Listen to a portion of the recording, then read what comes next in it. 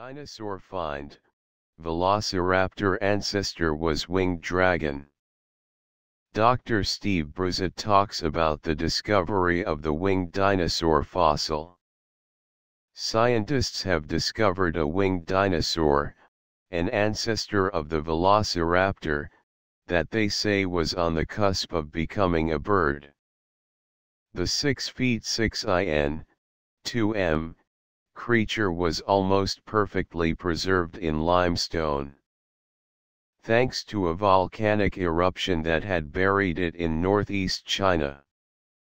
And the 125 million year old fossil suggests many other dinosaurs, including velociraptors, would have looked like big, fluffy killer birds. But it is unlikely that it could fly. An artist's impression of Long shows how strange this feathered beast may have looked. The dinosaur has been named Long, meaning Zhenyuan's dragon, in honor of the man who procured the fossil for the museum in Jinzhou, allowing it to be studied. The University of Edinburgh and the Chinese Academy of Geological Sciences collaboration is published in the journal Scientific Reports. Lead researcher Dr. Steve Brusatte said it was the single most beautiful fossil I have had the privilege to work on.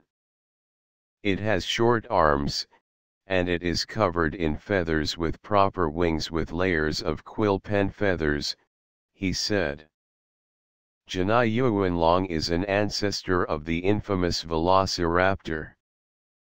So even though this is a dinosaur, even though it is a close relative of Velociraptor, it looks exactly like a turkey or a vulture. Dr. John Nudds a senior lecturer in paleontology at the University of Manchester increasingly complex picture of emerging evidence that certainly a lot of dinosaurs and possibly even all of them had feathers or at least downy hair. Dr. Brusatte said, it will blow some people's minds to realize that those dinosaurs in the movies would have been even weirder. And I think even scarier, like big fluffy birds from hell. He said its large body made it unlikely Zhenyuanlong would have been able to fly. The complex feathers of the dinosaur's wings are beautifully preserved. So maybe wings did not evolve for flight, perhaps they evolved as a display structure.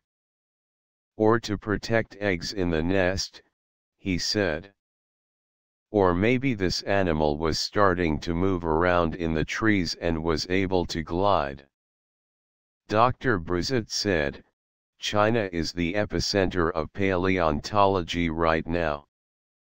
There are museum storerooms full of new dinosaur fossils that have never been studied before. He added, this is the most exciting time maybe in the history of paleontology.